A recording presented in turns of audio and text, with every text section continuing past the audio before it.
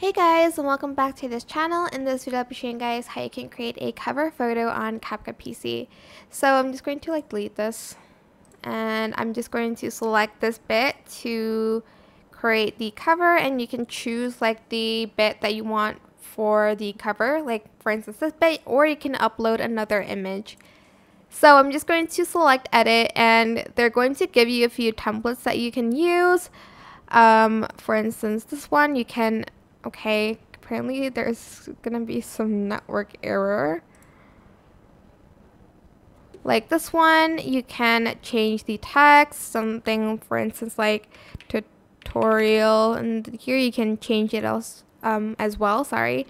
You can also change the like background color, um, the font here, if you want it to be bold, etc, etc, or like no bubble or width. Um, and here you can also add in more text if you'd like to and some text effects. And once you're done with the cover that you want, just select complete.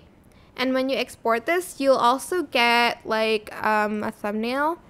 So if you select export, you can add video cover at the beginning or not like on your video but it will still export that as like a separate image for you can use for like a YouTube thumbnail or whatever you want. But that is it basically. I hope this tutorial was helpful for you guys.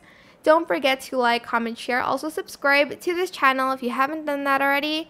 If you have any more questions, just leave it in the comment section down below. I will try my best to answer them all for you guys. And if you found this video helpful, please click the thanks button above the description box down below. Thank you so much for watching. Bye!